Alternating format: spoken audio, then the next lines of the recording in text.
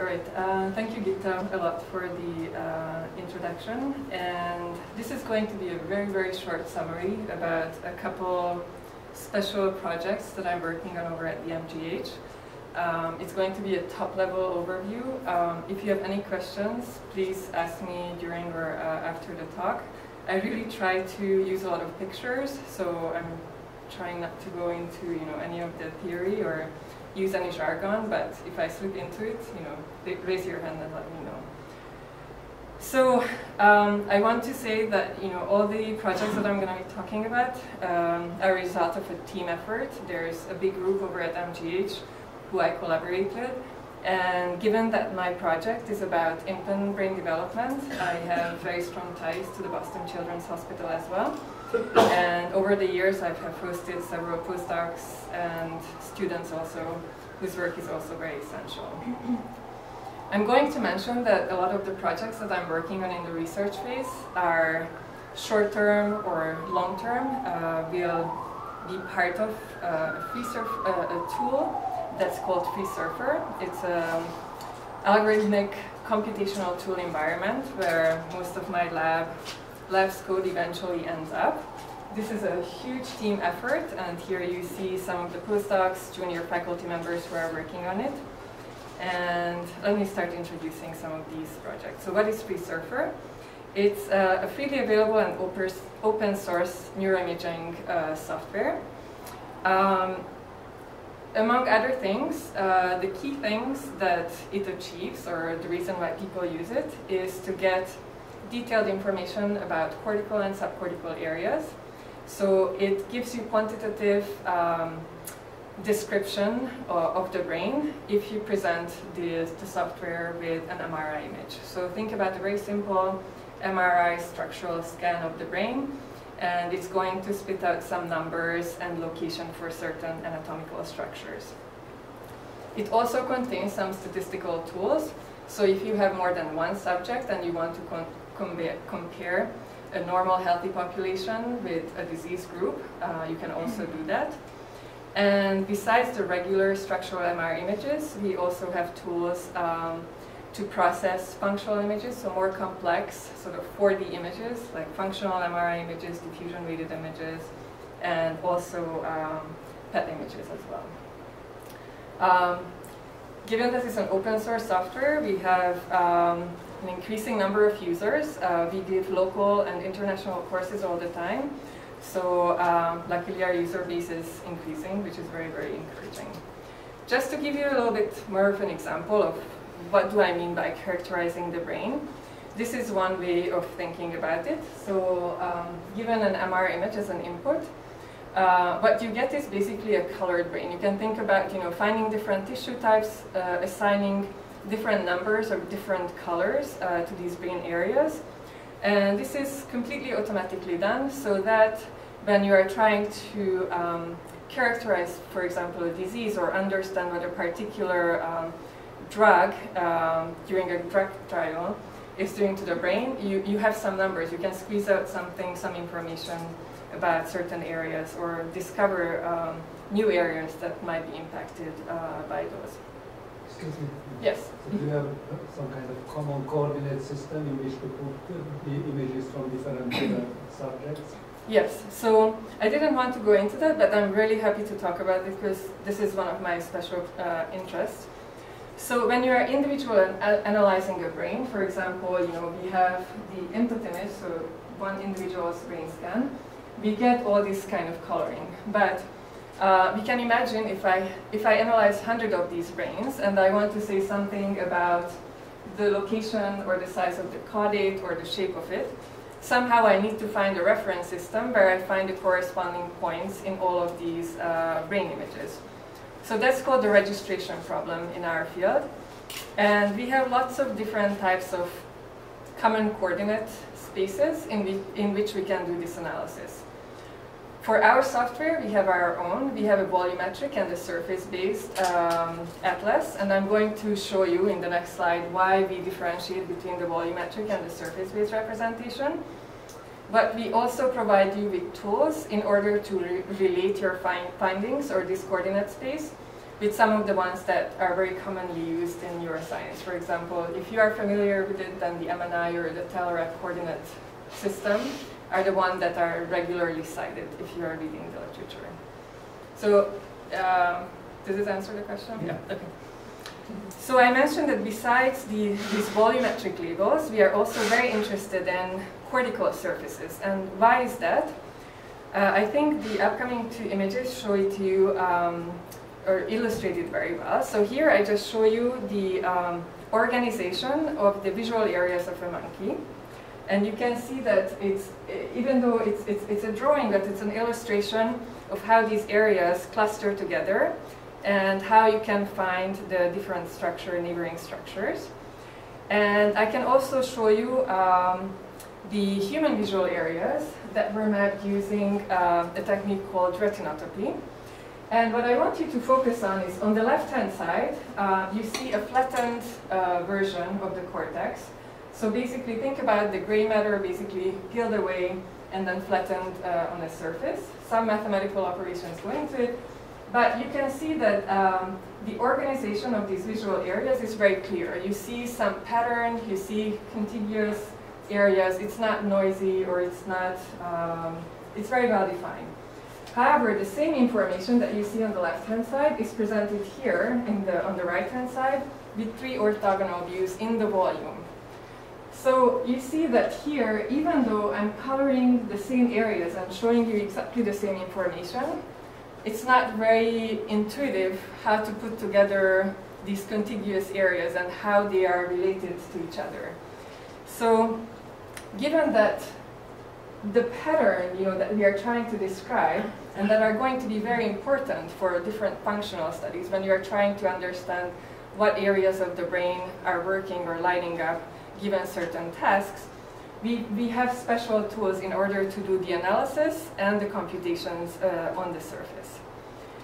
And in order to do that and visualize the results, um, after we extract these boundaries, so we have two boundaries that uh, I'm going to be mentioning today.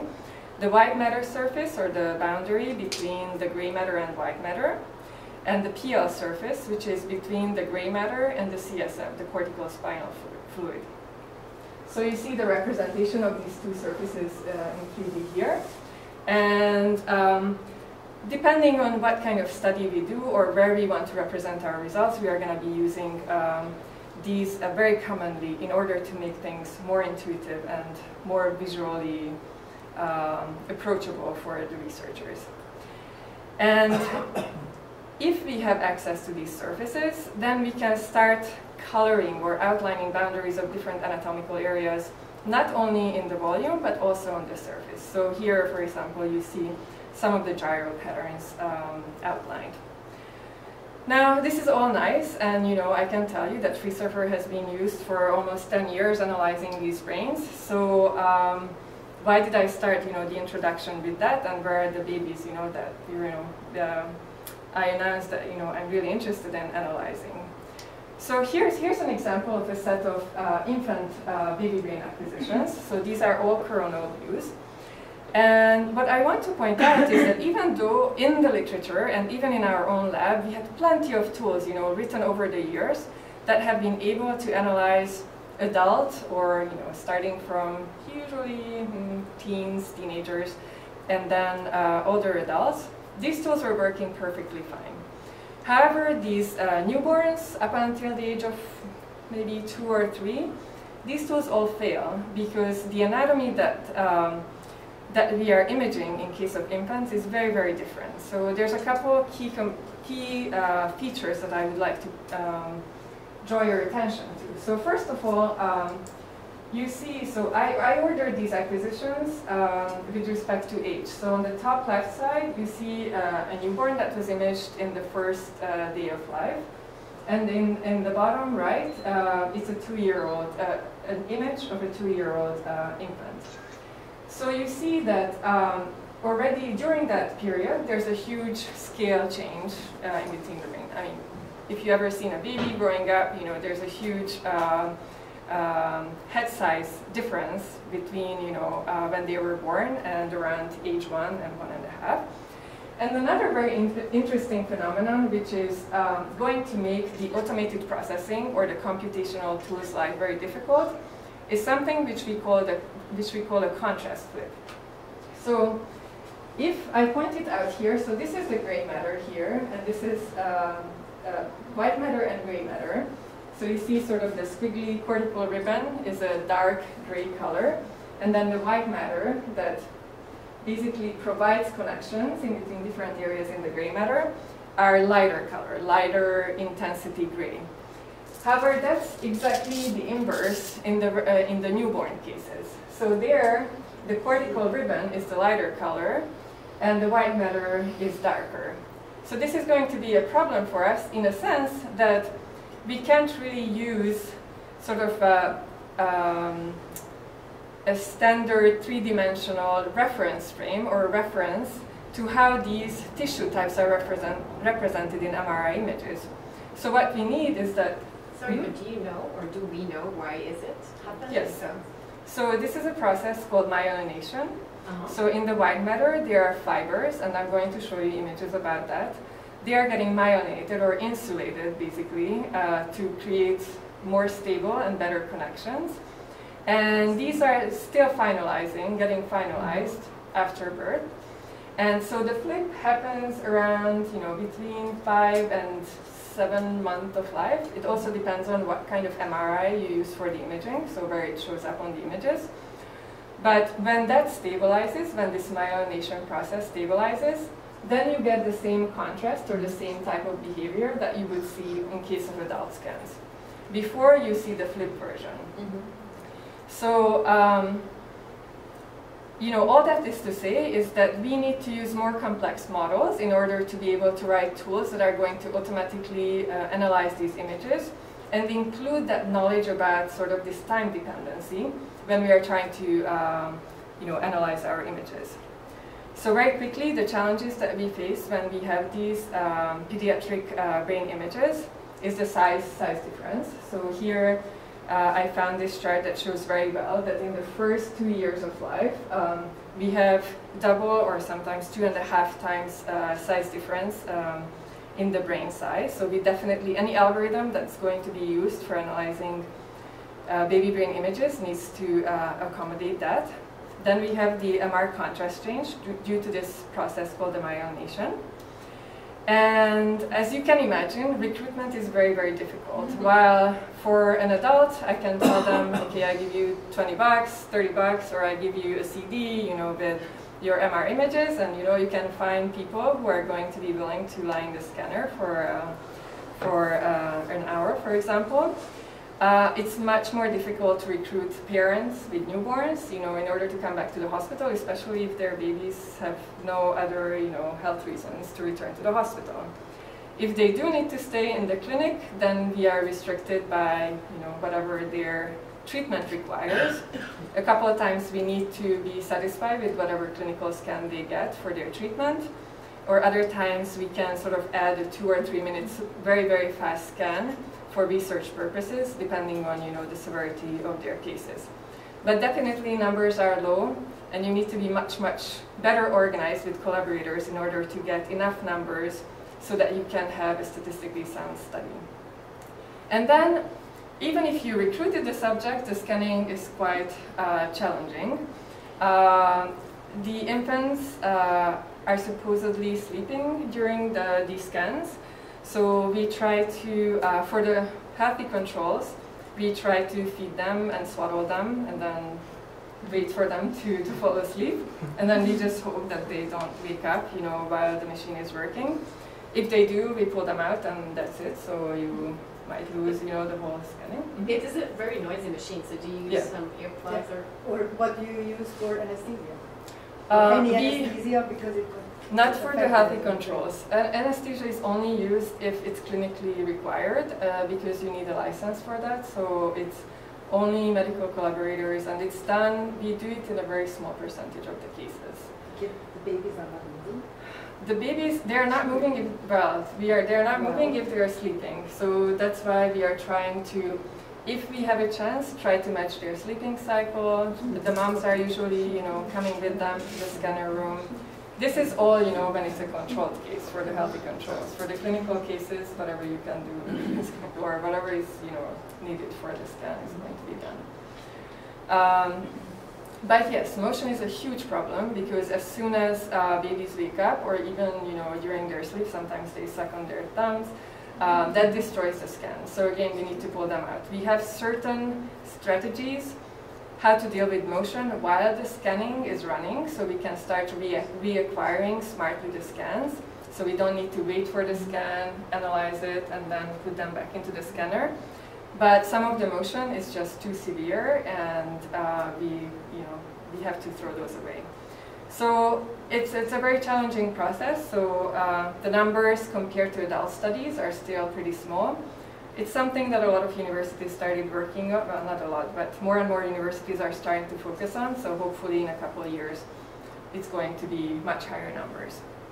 So my particular interest is um, algorithmic development. So I have a computer science background, and what I'm interested in is writing algorithms and tools in order to process uh, these data sets to come up with some quantitative measures describing either one particular case, a whole population, a process which is time dependent.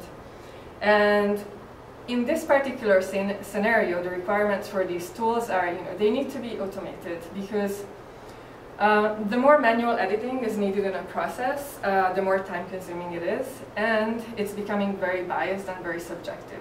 We know that even though we use sort of manual annotations as a golden standard in a lot of validation studies, um, each uh, labeler or each expert is very biased, and even from day one to day two, they can um, annotate or give their answers sort of with a very high variability. So we really try to sort of um, get rid of the uh, manual component of any of our software tools. It has to be robust, as I mentioned, you know, we have a lot of images that are not ideal, especially given this population. So we try to write tools that are able to accommodate um, less than uh, super high quality uh, images. And it has to be accurate for the particular purpose that we are going to be using it for. It has to be reasonably fast. I, you know, I put the asterisk there because we are not working in a surgical environment. You know, the answer doesn't need to be ready right away. You know, it should be ready within a reasonable amount of time, but that's, you know, real-time sort of computation at this point is not really a requirement. And the output is usually, as I mentioned, a quantitative measure, you know, thickness measure, curvature measurement, area, surface, uh, something that you know can characterize a particular phenomenon that you are interested in. And a couple of computational tools for which I'm going to show you examples for are the following.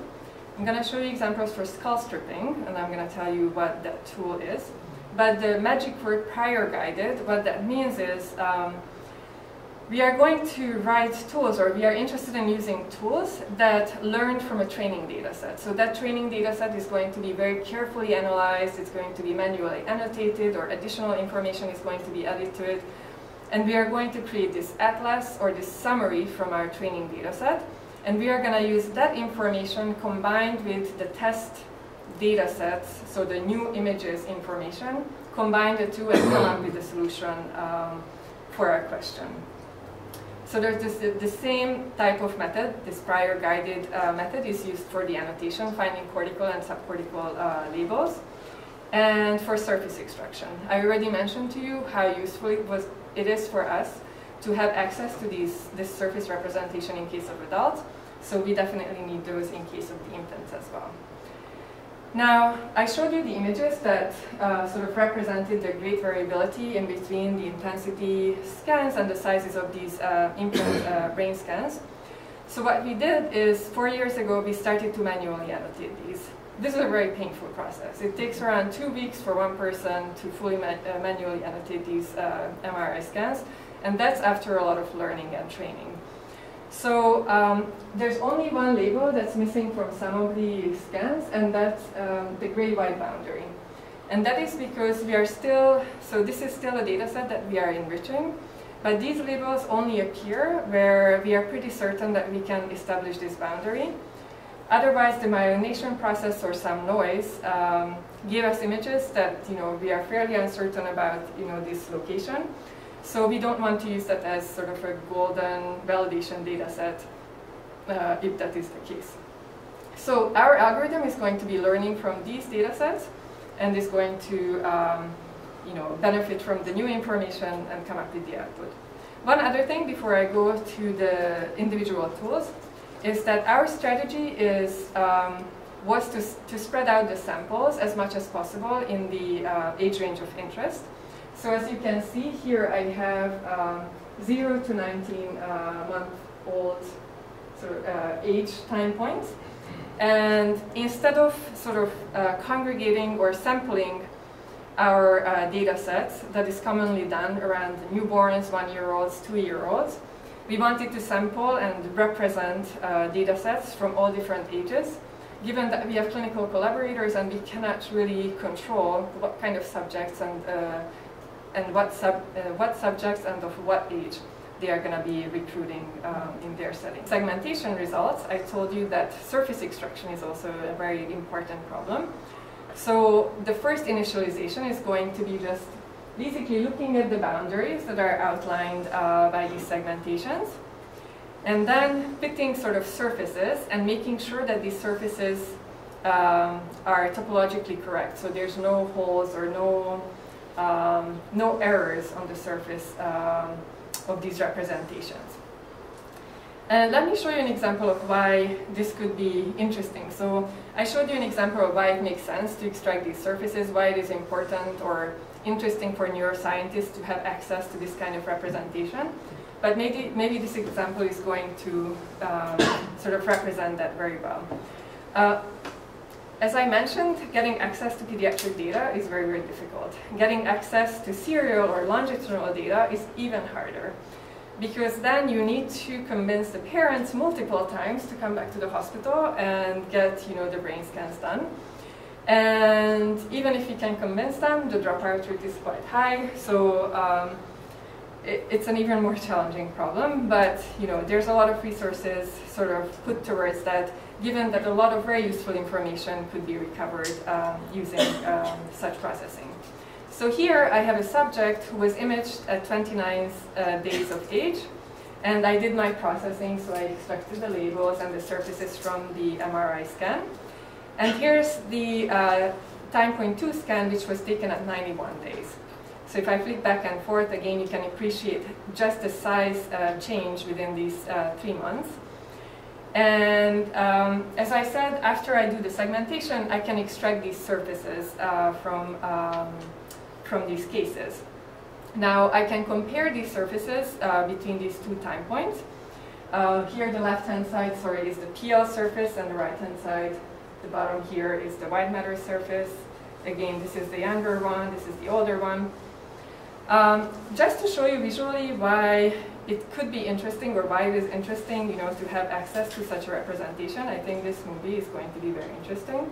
So if you follow the timeline, it starts at a negative number. That's possible because we have some preemies, uh, access to some prematurely born uh, infants. And the video, what, is, uh, what the video is trying to show you is how the brain is developing or how certain gyral patterns are still forming after birth. Now, uh, a note here, this particular movie was created by cross-sectional data. What I mean is that we had access to MRI images from lots of different subjects, and just like the question you know, came, uh, we put them into the same coordinate space, extracted their surfaces, and created this movie outlining how, if I make this change, dependent on the time, how that would look like sort of imitating what would happen or how the brain is changing as the infant is getting older. Now, definitely, besides the time change here in the, in the video, I also have a lot of contribution from inter-subject differences. So a lot of the changes that we see are not necessarily due to time, but because you know different individuals have different types of patterns, different uh, cortical patterns develop slightly at a different age. So that longitudinal example that I gave you before would be really useful if we had a numerous of these uh, several time point acquisitions. We could put together a movie and understand much better what is a normal variation when we have uh, normal growth, and how can we set biomarkers for, let's say, prematurely born uh, kids or kids that are born with congenital heart disease or who have some neuronal uh, sort of developmental delays and see how different and in which areas the development is different in their cases.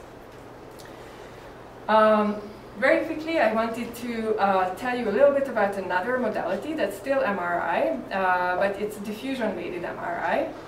Um, if I want to characterize it, it's going to give us more information about tractography or white matter components. So these are the tracts, these are the fibers that are connecting functional areas in the gray matter. So um, if we identify these tracts and we can characterize them, uh, this is going to give us information about how well connected or how not well connected um, the different brain regions are. And it can give us some clues uh, to the understanding of certain diseases, aging, uh, and development. Now, the, the quantity diffusion, uh, what does it describe in case of diffusion-weighted MRI? Uh, it differentiates different, uh, the different tissue types based upon how the water molecules um, are moving or are allowed to move uh, within the tissue.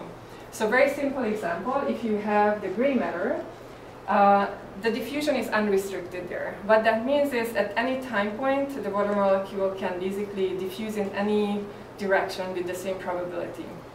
If you are in the white matter, as I mentioned, you have these uh, fibers or these tubular structures so just like in a case of a straw, for example, um, the water is restricted. There's going to be only certain limited directions in which the water molecules can uh, flow. And it's not going to be sort of, you know, moving uh, across these boundaries. So these are, this is the information that we are going to be grabbing and um, displaying in case of these diffusion-weighted images. So this, uh, this image, I think, illustrates very well uh, how we can manually uh, outline some of the well-known uh, white matter fiber tracts in case of a prematurely uh, born infant. So what we did is we reconstructed well, all possible fiber tracts, and all is really in quotation marks here because it's given the, uh, the quality of the scan and the resolution of the scan that we got provided with. And uh, manually, using our uh, tool, assigned a label to each of these tracts that belongs to a particular anatomy, and in this case, it's a, it's a fiber tract. Now, uh, this, this slides just show you the different steps. Maybe it helps you understand how, how we did that. The tool that we use is TrackVis. It's, it's part of our um, software environment. Again, it's freely available and downloadable, so anybody can play with it. Um, what happens on the left-hand side, you reconstruct all possible connections in the brain. That's uh, the information that's provided by your data. And then you start putting down these uh, regions of interest or uh, areas where you know anatomically, from anatomical knowledge, that these tracks that you are interested in should be crossing through. And then you put in another uh, area where you know you also know that these tracks should be going through. And at the end of the day, you, you are left with the, fi the, the fiber tracks that um, you know, connect these two uh, areas. And sometimes you need to do some cleaning if you had lots of noise in your data set. But depending on how accurately you can put these regions of interest, this is how you would do the manual labeling of your uh, images. So this is a quick summary. Uh, I told you about um, our software environment tool that I'm working on enriching with these uh, tools that are going to be particularly designed for uh, infant brain images, particularly in the zero to two year age range. I told you a little bit about structural MRI analysis and also included some multimodal uh, image analysis example using diffusion-weighted MRI images. And thank you for your attention, and please ask me lots of questions.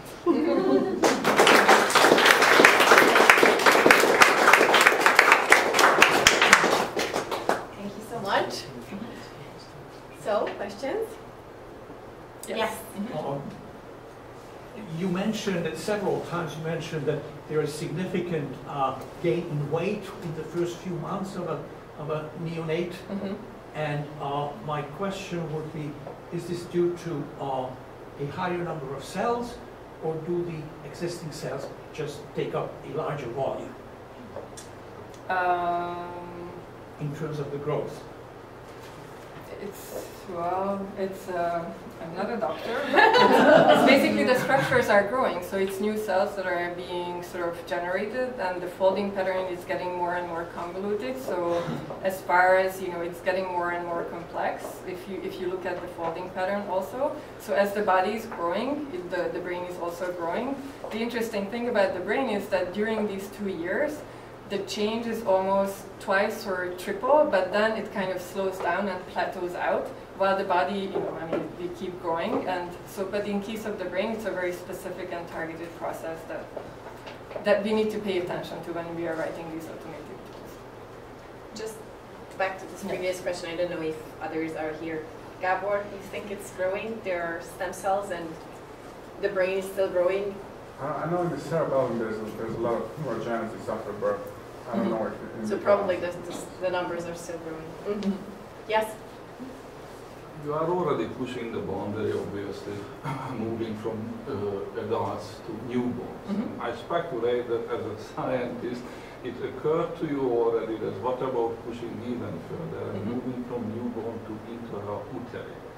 My first quick question is that, that is, would that be feasible, is that feasible based on present day technology, scanning capabilities, how fast, how slow, and, and, and the computer capabilities?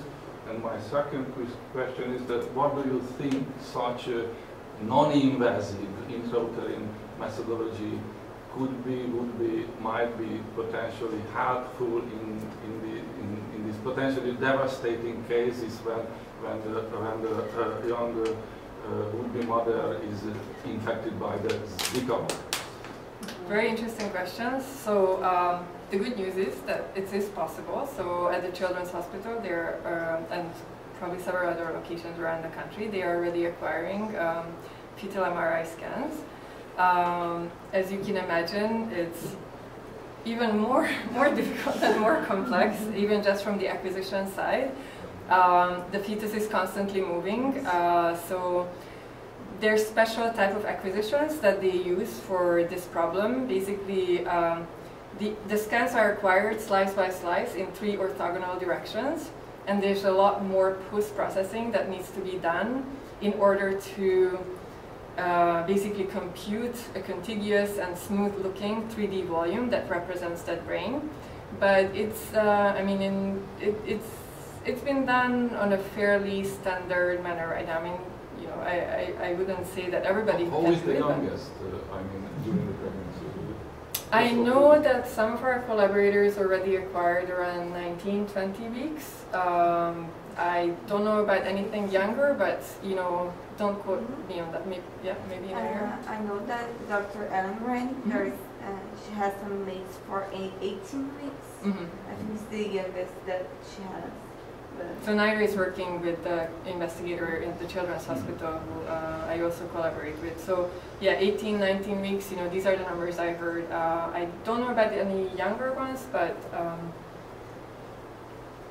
yeah. Uh, and uh, going back to the Zika virus, that's very interesting uh, that you ask because we uh, actually have some active collaboration in Brazil, and we are trying to figure out whether we, what kind of um, collaboration we could have with them. We have the knowledge about how to acquire the sequences, and we have sort of the post-processing experience, uh, but obviously we don't have the patient group, and um, sort of, you know, we are in in the process of trying to coordinate any such effort if they need any of our help. Um, it's definitely a very interesting problem, and I think the sooner we can we could get access to um, this patient group, uh, the better. Uh, they are already recruiting in certain key centers pregnant women who are um, who are infected by Zika. Um, now I imagine there's a lot of local groups are they're already doing a lot of studies on them. Um, so it's in the development, but we would really like to uh, partake in that. Hmm? Yeah. Could you please go back to the slide prior to the bar graph? Prior to the bar graph, yes. Mhm.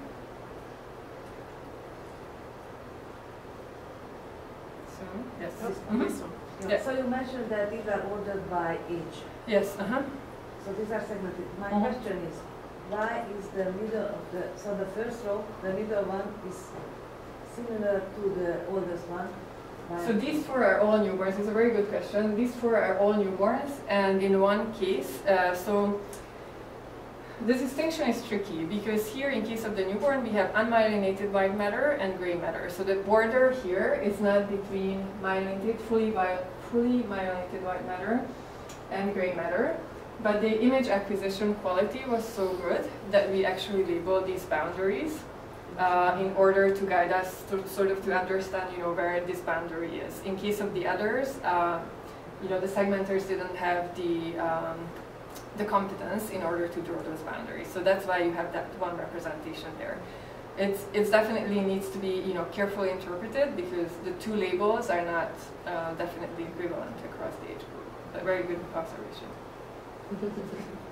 yes. Excuse me, I mean just answering this how Yeah. many brain cells. You Yeah. We are born with 100 billion nerve cells Mhm. in our brain, and uh, uh, they don't um, replicate, and except for some regions of the of the brain, the cerebellum, olfactory bulb, prefrontal cortex, and hippocampus, and Mhm. only in the hippocampus uh, there are uh, new uh, cells uh, Regenerated. Mhm. and that's uh, connected with the memory. and, uh, Mhm. Thank you very much. Mhm. Mhm. Yes. We have some researchers here who are working with brain stem cells, so maybe next time we will have a presentation about that one. Yes. Yes? Yeah, so, um, yeah, I just want to go to this, this line of thought that, uh, we're dealing the baby boomers generation and, uh, the two ends of that, the Uh-huh. babies and the baby boomers. Mhm. The elderly who are losing their speech production capacity. Mhm. So way too often I see in my hospital, uh, uh, the geriatric psychiatrist, uh, dementia problem. So it's so common, it's so striking to see that, that just generally everybody is losing their learn the English language, Mhm. where it came from. Country like this country, uh, my area is made Portuguese speakers, so we have to hire Portuguese, native Portuguese speakers, nurses, uh, uh, nurse assistants, doctors, in order just to, to treat those American citizen patients who are unable to speak any longer because uh, even my colleague who had a long flight to the Philippines, he became aphasic, uh, got a stroke in that Mhm. area. Uh, uh, broke up waterfall, which is a speech production area. And it's so striking and so amazing that you have to live our language, the English one, with a story different than your primary language. Mhm. So it's a common phenomenon actually in, in the hospital setting that uh, speech therapy, it's, a, it's an American concept, it doesn't really exist in, at least not in Europe, which I'm aware of. So this Filipino doctor was totally incapacitated, I had to cover for him. And we could do it with my unit, and many others. He was able to gain back his English language and now is productively working again after 12 months of therapy. Mhm. Not being in the US, probably he would be talking just like a four years old, uh, because he got a stroke in that area. So that's another implica- enormous implication, tremendous implication of the research. uh, Mhm. Other babies which are 70 and older, my youngest Alzheimer, uh, for MIT was, was actually 48 years old. So- even recognize food and appellation with name. So- That's definitely related, and um, you know it's also well known that sort of the reorganization of these functional areas is much easier the younger you are. So a lot of times that's why we want to find early biomarkers that say if we could detect, let's say in case of prematurely born population, that some of them belong to you know a group where you know they're gonna naturally catch up with this neurodevelopmental delay. We could do targeted therapy and we could try to see whether there's anything that can be done in order to you know, precipitate that process. If we don't do that, you know, it's going to, we are only going to rec- recognize that around the age of three, four, you know, when they should be, you know, speaking and interacting and doing certain tasks. So again, early detection, that's kind of the, the goal, you know, in this area. Mhm. That question, you mentioned dementia, and I was just wondering when, when that occurs, Mhm. is it similar to this process but the other way? Or, uh, The process is, back, Check it out. Lay back, video back. Yeah. There's a lot of I mean, is, is there logic to that? or- There's a lot of complex processes going on, and you know, there's a lot of ongoing research. Uh, one very visually striking difference, even with normal aging, is that the cortical areas are thinning. So that's why cortical thickness is a very is a key measurement. And in a lot of population studies, if you know people are dealing with aging or sort of certain types of dementia, then this is one of the first quantitative measures that they want to sort of display, compare among their populations. And then you can localize that, see you know which areas are losing or thinning first. Um, but beyond that, there's a lot of other you know sort of more tissue-related uh, changes that you know take place and can describe that phenomenon. And constant studying doesn't help you Sorry. make, make the, the thickness bigger. Constant studying. Oh, constant studying. Um, you know, there's always a couple of posters that, that claim that you know you can increase it, but uh, yeah, but I'm not sure there's a conclusive study of that. Mhm. Um, I'm sorry. Sorry. Yeah, just go ahead. Uh, Enough. Okay, so uh, do you, I don't know if, how long do you have a follow-up on the Mhm. patients, but did you have any of the patients that you already analyzed diagnosed with autism? And if you have, have you um, looked at any morphological differences compared to the controls? So I haven't looked at any uh, autistic uh, subjects yet, but our collaborators at MIT and at, at the Children's are really interested in recruiting that, those patients. And as you said, usually these uh, subjects get recruited much later. So what we are working on right now, by setting up these longitudinal studies, we are trying to sort of combine efforts and have you know overlapping data sets and you know including in the imaging study any clinical follow-up you know that's going to be sort of helpful referencing back to the newborn uh, status as well. Mihai? Yeah, so what's the resolution of these images Um, and what is the trend of resolution? So for these newborns, this is uh, sort of these clinical research uh, scans for the structural ones are one by one by one isotropic, and for the diffusion scans they are two by two by two. Um, clinically, usually, um, or even for research purposes, you don't really have too much more time to go to higher resolution. Um, so I would say this is kind of a higher higher standard. There's definitely cases where, uh, especially for radiological reading, uh, people prefer higher in-plane resolution. So you can push it down to 0.75, for example, 0.75, 0.75, but then the slice thickness is going to be, let's say, three millimeters. So just think about, you know, higher resolution in one plane, but you are going to be jumping, you know, much larger steps. Uh, So across all the these range. numbers you said were millimeters. Yes. Mhm. And what is the trend? Is it getting more detailed? Or? Well, yeah, I mean, you know, our physicists, so we have, you know, our group has two main, you know, sort of subgroups. One are physicists who are pushing and improving the sequences, and then the other group is the post-processing. So if you have a sequence already acquired, what can I do with it? The physicists are always trying to make, you know, the, the scanners run faster, um, you know, less, not as noisy as uh, they do right now, uh, higher, um, uh, higher resolution. But you know, it really depends on what you want to use these scans for. Because for engineers, we would say you know higher resolution scans definitely much better. Radiologists don't like that. You know, they train on a particular resolution. Anything extra is you know sort of um, you know adding let's say eight times you know like increasing twice uh, the resolution increases eight times the, the size of data that they need to go through. They have an allocated amount of time that they need to get through all the data sets.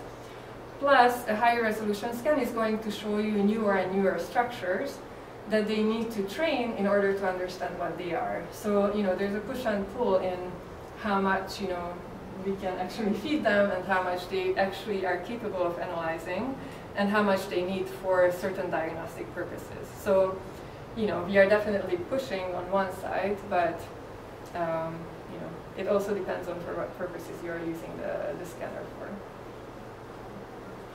Thank you. Not feel sorry for the Sir. you, you don't feel sorry for the radiologist? Or? I said that I feel sorry, but Oh, oh, oh, okay. feel okay, okay, okay, all right. Um, thank you so much. Uh, we really appreciate, Lilla, that you actually uh, accepted this invitation in such Oh, a short yeah, notice as well. So thank you so much again. And I just want to encourage everybody to ask uh, questions probably later as well from um, Lilla. But now we would like to move on. And actually, this whole side, yes.